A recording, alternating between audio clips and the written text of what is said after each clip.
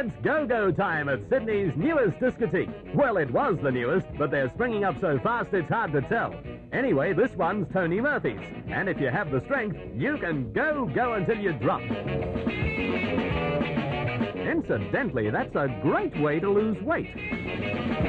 Remember the Charleston mum?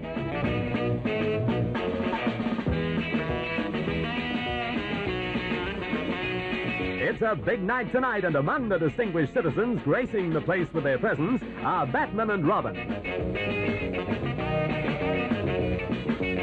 Tony Murphy gives them the glad hand at the door, but Batman doesn't intend to waste any time. He's a real go-go guy.